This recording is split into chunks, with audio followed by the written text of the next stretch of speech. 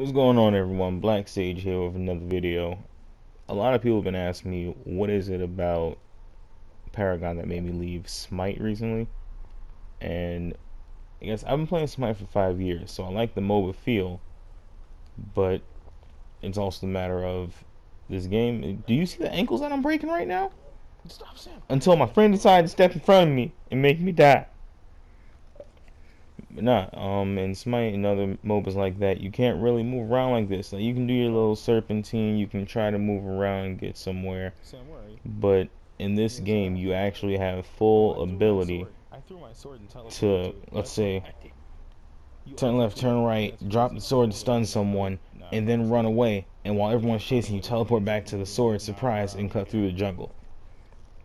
Most MOBAs, the jungle's real small, but this one they actually have a decent sized jungle. Uh, I've, I've jumped in a lot of times to try to save people's lives. Like breaking ankles, it's not even just a fun thing. It's an extreme sport in this game. Oh my god, more than one person's here.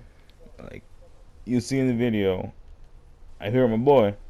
Tell my boy, hey yo, go ahead and run. She got scared. I'll take care of the rest. This man all the way gone. He didn't try to help. He was out. So I go in there, try to get some life steal, and I retreat.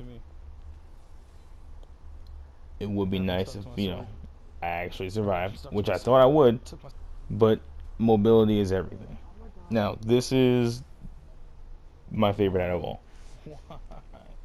We've got man Kwang here. It, this is my first game, no, second game with him, because the other video was my first one. I've got four people over here, four people running around. These either they just can't hit basics, or I'm I should just be an NFL player right now. I don't know, but it was enjoyable. But anyway, back to the topic at hand. Uh, just the way this game is in general. I like the environment, the atmosphere. If you notice the difference between this MOBA and all the other MOBAs you've probably ever seen, most MOBAs are just on a flat surface in a little jungle. This game, I'm going to show you just cutting straight through the jungle. You're going to see there's stairs, there's minions there. Once I go past this doorway, you're going to see an Amber Link on the right side. The Amber Link fills up with um, jungle EXP basically. As the jungler kills minions, you get card points, which is how you build items in this game. So there's a lot more aspects to the game opposed to just, hey, you're here, you're here, you're here, kill people, have fun. But um, yeah, that's just my explanation as to why I ended up picking this over Smite. Black Sage out, and thanks for coming.